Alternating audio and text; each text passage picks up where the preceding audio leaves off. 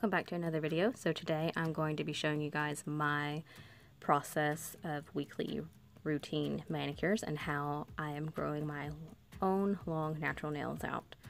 So if you follow any of my social media or you watch my YouTube videos on a regular basis, you will know that I am allergic to acrylic and gel, hard gel, soft gel, all of that. So yes, I do work on clients, so I have to be extremely careful while working on them by wearing gloves, long sleeves, making sure that none of the product touches my skin or else I'll have a very severe allergic contact dermatitis uh, reaction. And some of you guys will know what I'm talking about. It's very painful. You have to be on steroids and it takes a long time to get rid of.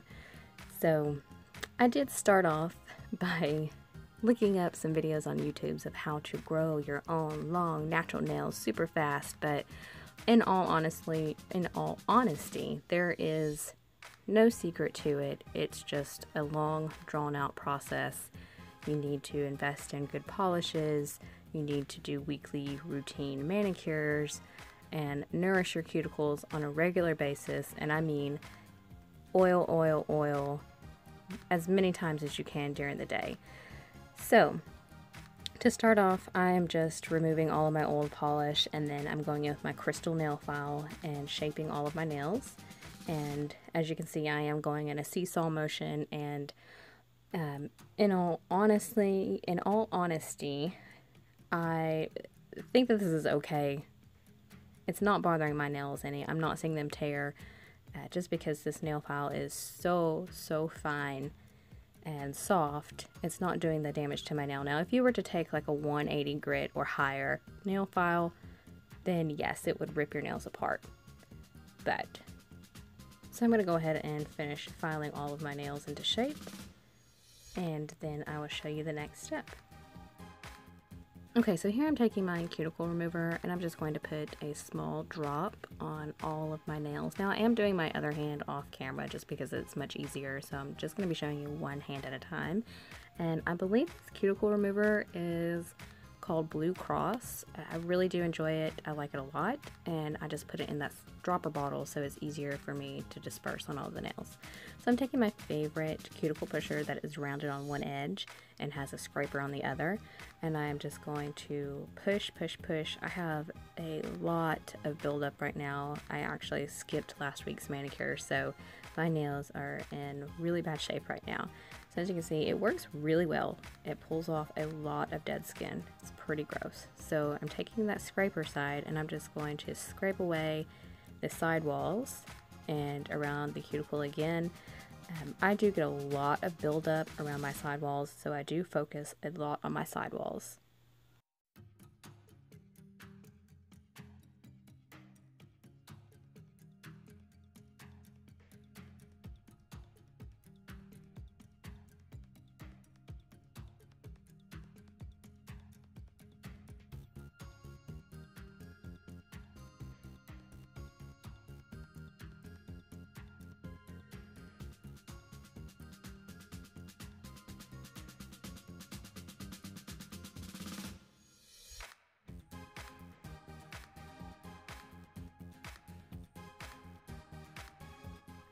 Okay, so you can see here all of the dead skin that that product has helped lift off of my nail plates. It's pretty gross. So after I've done pushed my cuticles back, I'm going to take a nail wipe and just wipe all of the excess skin off. And then I'm going to take my favorite drill bit, and this is just a extremely fine cone bit. As you can see, I'm putting it on my skin. It does not hurt whatsoever, so I find that this works really well to get into my sidewalls because once again, like I said, I have a lot of buildup around my sidewalls. I don't know why, but I get dead skin really bad right there. And that's where I get a lot of calluses built up. So I'm going to take this e-file bit and I'm just going to go very carefully around the sidewalls and my cuticle. And this is a step that you can skip uh, because I do nails professionally, I do have this equipment already, and it's a step that I like to take. Uh, if this is something that you're interested in getting, I have a link down below in the description bar of a e-file that is perfect for professionals and beginners from Melody Susie and this particular bit will actually be in a small kit that you receive whenever you order a new e-file. So this is not something that you're going to have to hunt down. It will be in the box. So then I'm just going to uh, dust away all of the dead skin that my e-file removed.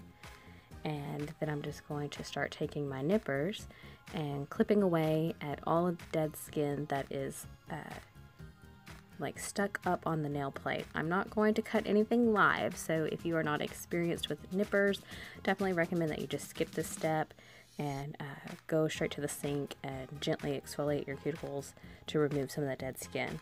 But like I said before, mine are really tough. I get a lot of buildup, so I do need to take this step.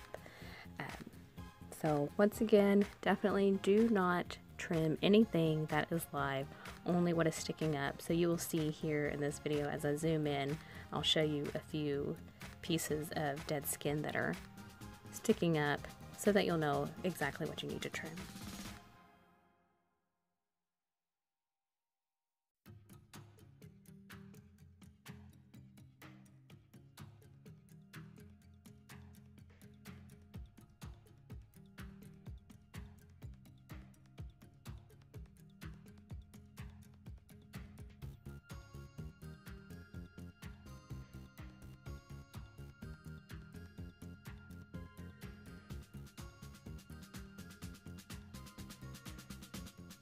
So from here I'm just going to take this fine grit buffing block and just smooth out any imperfections on my nail plate so that my polish goes on very clean looking. And um, while I'm thinking about it, I actually want to do a giveaway here soon. I just realized that I have reached a little over a thousand subscribers and I want to thank you guys so much for subscribing, for liking my videos, for commenting, and just interacting with me. Um, I don't think I've taken the time to thank you guys enough. It helps my channel out a lot when you guys are commenting and liking my videos, sharing them. So um, I'm going to set a goal of 1,200 subscribers. So once I reach 1,200 subscribers, I'm going to be doing a giveaway. Um, I'm really excited about it. So you guys have got to help me reach that goal. Okay, so as you can see, I have been cleaning out from underneath my nails. That is another important step that you shouldn't skip. We get a lot of really nasty gunk built up underneath our nails. It, it's pretty gross. So hey, fun fact, did you know that there are actually poop particles underneath your fingernails? Yeah, that's pretty gross. So um, anytime I have a client sit in my chair that's a nail biter and complains about biting their nails and they're really trying to grow their nails out, I will run that fun fact by them and let them know that there are poop particles found underneath their nails and when they're chewing on them, they're actually chewing on poop sickles. So run that by your client and see what they think. It'll give them a good laugh. Okay, so this is what my nails look like after I have finished cleaning them and washed them. So this Nail Tek Xtra Nail Strengthening Polish is what I bought when I was first starting this 21 days ago. And I used this um, morning and night. Sometimes I would do it three times a day. Uh, and it, it really, it worked. This is like the first nail strengthener I've used ever that actually showed results. So I would recommend this. I picked this up at Drug Emporium, but your local Sally's will have it. Um, and that polish does say that you should put it on um, once a day. And then uh, once they got, got some length to them, I decided that I needed to go with a nail hardener. So I picked this one up from Sally's. I'm sure you could find this one anywhere. This one's been around for a really long time. I think my grandmother used to use this. So this one says, I believe that you need to apply it only once a week, but once again, I'm going to be using this daily, if not twice a day, just because I am really on a mission to grow my nails out um, and, and strong because my nails are so flimsy. I don't know why they're so flimsy. Whenever I do grow them, they just bend and it's it, it's painful. and it's heartbreaking. Nobody ever likes to break a nail. So I'm going to apply this to all 10 of my nails and let this completely dry before I do a second coat. And uh, as I was polishing, this polish has a really funky smell. Like that Nail Tek one just smelled like regular nail polish. Um, maybe a little bit stronger. But this one smells like the aftermath of walking into a new building that just had a fresh coat of paint. It, it's it's weird, but it dissipates and it, it doesn't last very long. But um, took me by surprise that it smelled like like paint or paint thinner.